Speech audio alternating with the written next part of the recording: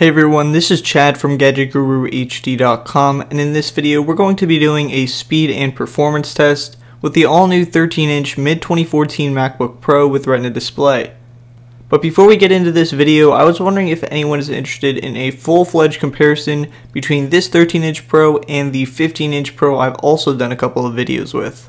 If that is something you're interested in, then let me know by clicking the click to tweet link in the description and also leaving a comment down below. And anyway, let's go ahead and get into it. Now this specific model is the base 13-inch variant MacBook Pro, which means it includes a 2.6 GHz dual-core Intel Core i5 processor, 8GB of RAM, 128 gigs of flash storage, and Intel Iris graphics. The first thing we'll be testing here is the boot up time, then we'll be running Geekbench 3, Cinebench, and then finally the Blackmagic Disk speed test. Starting off with the boot time here, you can see we scored just under 12 seconds, which is actually slightly faster than we scored on the 15-inch model. And if you want to see that video, I'll have that linked in the description as well.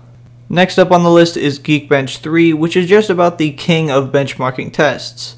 Now Geekbench usually takes several minutes or so to compile a final score, so like in all the other tests, I'm just going to go ahead and speed up this process. The 13-inch MacBook Pro scored 3137 single-core and 6661 multi-core. These numbers are essentially a compilation of a bunch of different categories Geekbench uses to test, and these range from stream performance, floating point performance, and integer performance.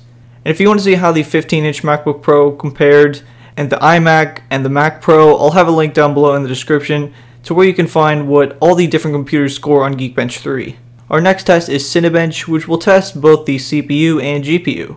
We receive an OpenGL score of 23.78 frames per second, and receive a CPU score of 3.11 points. The final test we'll be doing is a disk speed test which tests the read and write speeds of the machine. Here we see the MacBook Pro scored 316.5 megabytes per second write speed and 716.4 megabytes per second read speed. And to be honest, the results of these tests have really impressed me.